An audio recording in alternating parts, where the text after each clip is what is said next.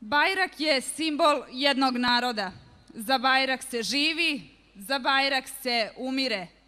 Bajrak se nosi u srcu.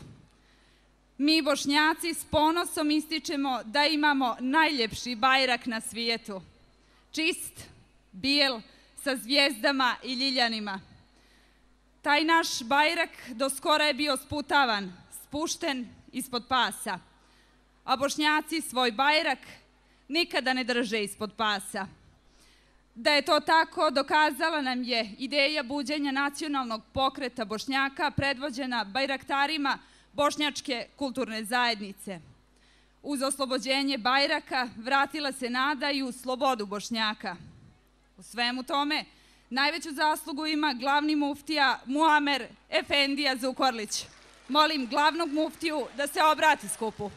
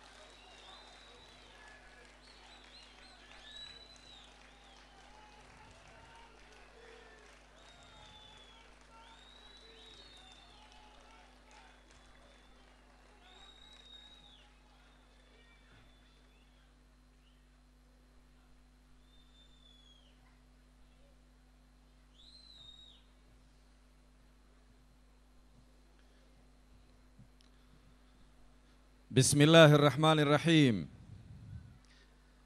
Esselamu alaikum ve rahmetullahi ve berekatuh.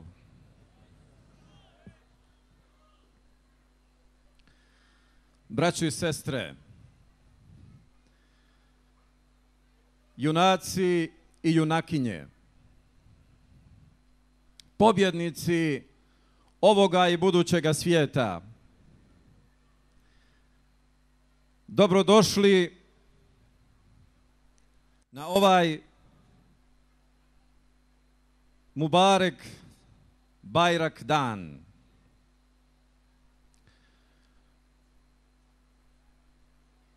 I zaista ovaj Bajrak zaslužuje vas. Jer vi zaslužujete njega. I pogledajte, jeste poseban, bijel, kao bijeli i svijetli obraz bošnjački. Bijel kao naša opredeljenost miru. Bijel kao čista srca bošnjačka koja ne znaju da mrze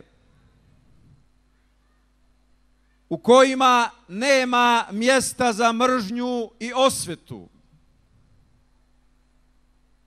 A u sredini simbol, grb bošnjački, grb sanđački u obliku štita, čistom srcu, poštenom srcu, čistoj i poštenoj duši potreban je štit.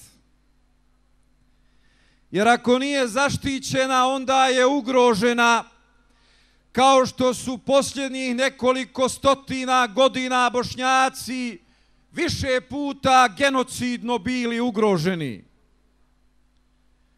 Štit kao simbol herojstva, odlučnosti i snage. Po sredini bijela dijagonala, simbol prosperiteta i mirne budućnosti. Iznad zeleno polje,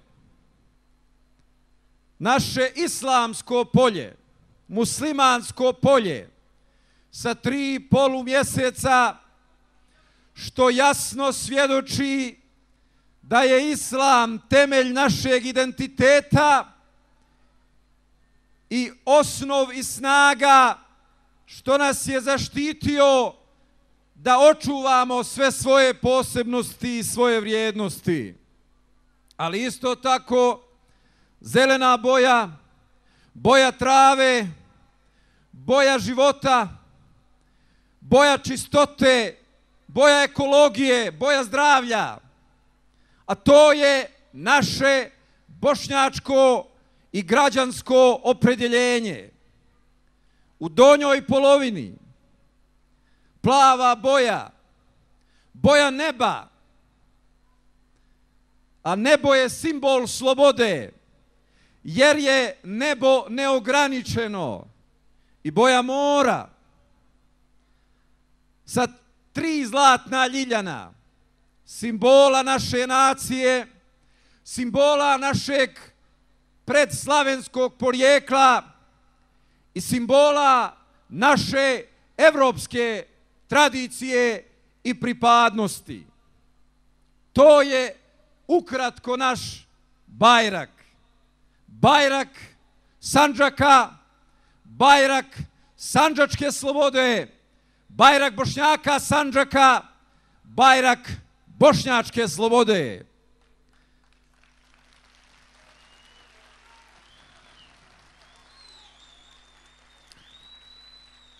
Osim po ovoj ljepoti, po čemu se još odlikuje ovaj bajrak? Kad se on visoko vije, onda to znači slobodu za bošnjake, ali ne samo za bošnjake. Nažalost, kada se neki bajraci razviju, bude rata i krvi. Kada se ovaj bajrak razvije, onda vlada mir i sloboda za bošnjake i nebošnjake, za bošnjake i njihove komšije. I to je tako bilo, tako je sada i tako će biti dok je vijeka i svijeta.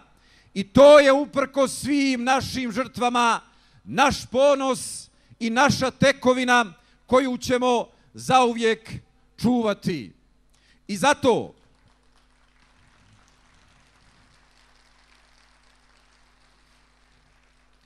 I zato neće uspjeti oni koji pokušavaju druge da uplaše sa nama. Nastoje da uplaše državu i kažu da smo mi opasnost za državu. Ne, onaj ko krade državu, onaj ko nesposobno vodi državu, on je opasnost za državu. A mi koji na to ukazujemo, nismo opasnost za državu, već spas za državu. Jer ljekar koji da pravu dijagnozu bolesniku, nije mu dušmanin, već prijatelj. Jer samo na osnovu prave dijagnoze može da ga izliječi. A ako mu lijepo priča varaga i daje krive lijekove, kao što Beogradu daju pojedini sanđački političari, oni pacijenta ubijaju i oni ubijaju ovu državu. I zato mi dižemo glas i upozoravamo i pacijenta i nadri lekara da se zna ko je ko, a bolje im je do duše i nama je bolje da nas poslušaju. Ponosan sam na to. Svakodnevno mi se javljaju grupe i pojedinci iz komšijskog srpskog naroda koji mi kažu nisu nas ubijedili da ste nam neprijatelj. Jedino kažu vi niste lagali. Sve što ste kazali, ostali ste iza toga. Sve što ste obećali, kažu ispunili ste. Rekli ste da ćemo pomoć kraljevu u tolikom iznosu ispoštovali ste. Drugi su se utrkivali u ciframa, ali mnogi od njih to nisu ispoštovali. I zato kažu, mi ćemo vas podržati bez obzira na razliku u vjeri. Drago mi je, ali se nisam iznenadio, jer naša poruka zapravo jeste to, jeste takva, jer nas svevišnji gospodar uči i kaže وَمَا أَرْسَلْنَاكَ إِلَّا رَحْمَةً لِلْعَالَمِينَ I mi smo tebe poslali iz milosti prema svjetovima, prema svim svjetovima, prema svijetu muslimana, prema svijetu nemuslimana, prema svijetu biljaka i životinja, prema svim živim i neživim svjetovima, jer onaj ko islam nosi, a to zna, u srcu, a to znači da bošnjačku tradiciju koja iz islama izvire, baštini u svojim grudima, ali i u svojim dijelima, u svojim manirima i svojim ponašanjima. Taj koji te vrijednosti u srcu nosi, od njega niko zla ne može imati. Ni on, ni njegova porodica, ni njegove komšije, bili oni bošnjaci, srbi ili crnogorci, svejedno, jer nam je Resulullah poručio hajru nasi men jenfe'u nase, šerru nasi men jedurru nase.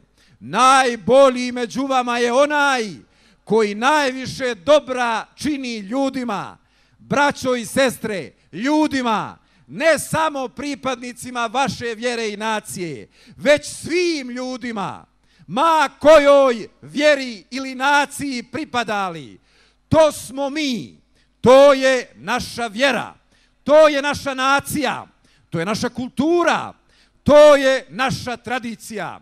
I zato oni koji žele da nas oblate ovako ili onako predstave, neće uspjeti jer je istina jača od laži, jer je svjetlo jače od mraka, jer je pravda jača od nepravde.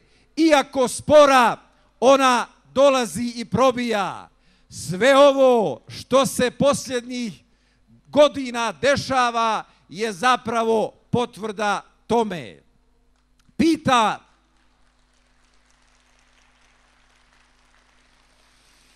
Pita jedan, čemu se radujete ako su vam počepali islamsku zajednicu, ako su vam istirali 39 vjeroučitelja nezakonito iz škola, ako su vam otimali i dalje vam otimaju vakufsku imovinu, ako su vam blokirali rad Bošnjačkog nacionalnog vijeća, ako vam obstruiraju akreditaciju internacionalnog univerziteta, a ja im kažem, radujemo se jer smo podigli i odbranili najbolju i najuspješniju islamsku zajednicu na cijelome Balkanu. I to što ste nam je napali je samo pokazalo koliko je dobra i koliko je jaka, a i počistila nam je ono što je trebalo da se počisti. Radujemo se i ponosimo time što od 39 isključenih vjeroučitelja koje ste ostavili bez hljeba, niti jednog niste natjerali da vam se pokori. jer nije bio cilj da se istjeraju, već da se pokore. To je mnogo veća pobjeda nego da ih niste istjerali. I zato smo radosni i ponosni i zato smo vam priredili ovu radost večeras i zato se ovaj bajrak ovako visoko, ovako ponosno i ovako radosno viori.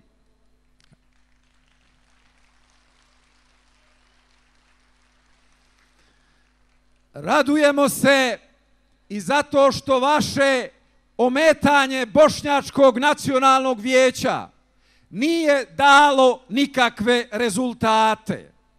Mislili su oni da će onih par stotina hiljada evra koje pripadaju bošnjacima, a koje vlast daje nekakvom bošnjačkom vijeću kome je istekao mandat prije 1400 dana. Braćo i sestre, to nema ni u Africi, ni u sjevernoj, ni u srednjoj, ni u južnoj. Da jednom organu ili tijelu istekne mandat prije 1400 dana, a da mu vlast daje pare iz budžeta, da ih troši i da ga smatra nekakvim tijelom. Nije ovdje više bitno to tijelo, niti ti ljudi koji su tamo. Najbitnija je ovdje poru, uvredljiva poruka prema našoj pameti. Zar misle da postoji jedan bošnjak koga će s time prevariti? Ja mislim da ne postoji i da niko nema sa toliko malo pameti pa da to ne primijeti. Zato smo ponosni jer odsustvo tih par stotina hiljada evra državnih para nas nije zaustavilo. Jer ja se ne sjećam, a nisam nigdje ni pročitao. Ako neko jeste, nek mi kaže. Ja se ne sjećam kada je vlast bila na strani Bošnjaka. U 20. vijeku nije nikada. A evo duboko zagazio i 21. ja nisam primijetio. Tamanih narod izabere što se popnu ono veze sa narodom nema ono što rade. Ali ne samo sa narodom, no ni sa njihovim obećanjima. Znam da ne možete povjerovati, ali se potrudite jer je sama istina. Od odlaska Osmanskog carstva u gradu Novome pazaru do dana današnjeg uz sve moguće crne, crvene, e, crno-crvene, e, lažno-zelene, šarene i sve druge režime koji su se promijenili nikada niti jedna građevinska dozvola nije izdata niti za jednu džamiju braćo muslimani. To da znate, uključujući i one kojima ste zadnjih 20 godina davali glasove.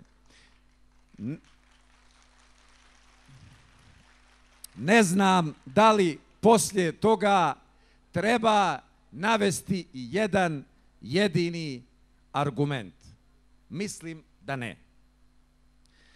Danas smo ovdje da obilježimo i 20 godina Bošnjačkog nacionalnog vijeća. Institucije koja uprkos tome što se ljudi u njemu mijenjaju, ne mijenja svoju boju i svoju prirodu i svoju ulogu. I ono se brine i dalje će se brinuti da uvijek vaše ime nacionalno bude visoko tamo gdje mu je mjesto. I vaš nacionalni ponos bude onde gdje mu pripada da bude. Bošnjačka kulturna zajednica, historijski pobjednik na ovim prostorima, od juna mjeseca prošle godine koja je i koorganizatori ovoga skupa je zapravo neko kome možete povjeriti i niste pogriješili što ste joj povjerili da čuva vaš kulturni identitet. Islamska zajednica sa svim svojim obrazovnim, odgojnim i humanitarnim institucijama brine se o vašoj djeci, o siromašnima, o cjelokupnome našeme biću. Priznaćete, nedostaje još nešto.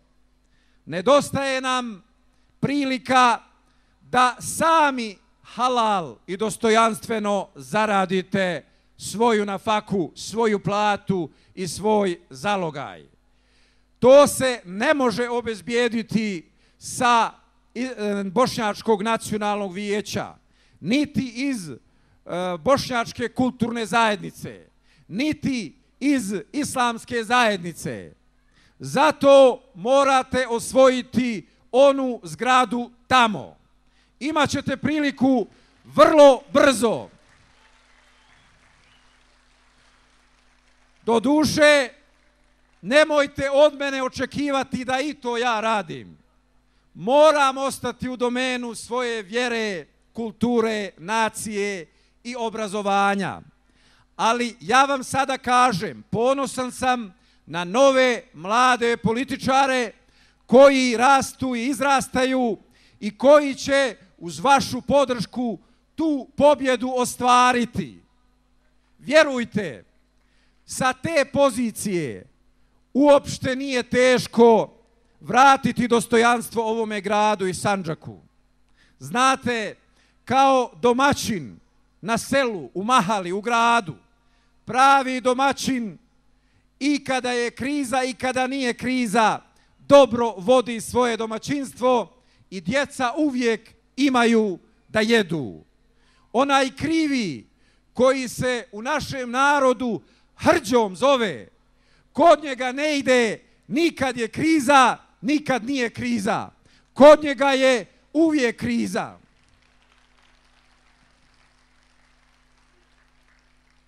Priča o potrebi za velikom pameti je laž. Ne fali ovdje pameti.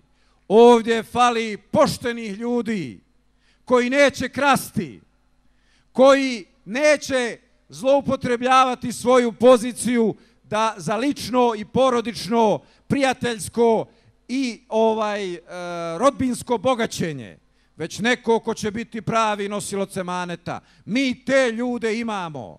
E kada još tu pobjedu ostvarite, onda ćemo tek imati pravo na puno veselje. Jer Allah Želešanu je čovjeka stvorio i od duše, i od tijela, i od razuma i zato se sve to mora nahraniti. I zato nam treba nacija, univerzitet, kultura i treba nam poštena vlast koja će raditi za svoj narod, a ne protiv sobstvenoga naroda. To je poruka večerašnja. To je poruka ovoga bijeloga, odlučnoga i ponositoga Bajraka. U tom svjetlu svima vama danas ovdje prisutnima i upornima Mubarek Olsun, ovaj Bajrak, Mubarek Olsun, ovaj dan, Mubarek Olsun, sloboda, Mubarek Olsun, odlučnost i Mubarek Olsun, ono što je najvrijednije od svih pobjeda koje sam pobrojao, a to je pobjeda slobode u vašim srcima i u vašim glavama. Jer sve drugo nekada možda i mogu da nam uzmu, ali ljude, njihovu slobodu u srcu ne mogu nikada, a to ste vi, to su bošnjaci, to su građani ovoga prostora. Zato, braćo bošnjaci, radujte se. Zato, komšije, Srbi i Crnogorci, radujte se. Vjerujte, bolje vam je sa nama nego sa njima. Jer oni koji izdaju svoje, vas će još prije. Mi nikoga ne izdajemo, nećemo ni vas. Što mislimo kazat ćemo vam, nekad grko, nekad slatko, ali ćete uvijek znati na čemu ste. Mubarek olsun, eselamu alaikum, wa rahmetullahi ta'ala wa barakatuh.